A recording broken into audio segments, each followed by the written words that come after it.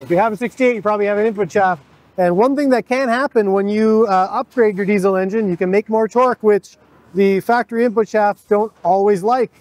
Now we've done extensive testing here in the research and development and transmission building department at BD and found that OEM input shafts will fail like this statically loaded at about 2,500 foot-pounds, which means that realistically in the 1,000, 1,200 foot-pound range, cyclically loaded, you will probably see shaft failure like this. That's barring any sort of hard loading or really big torque creation. So that's where something like a billet shaft like these ones here would come in to increase the reliability of your transmission. You have upgraded turbocharger, more power, or uh, you know, like a performance torque converter with multi-disc clutch. This can apply more shock loading to the input shaft.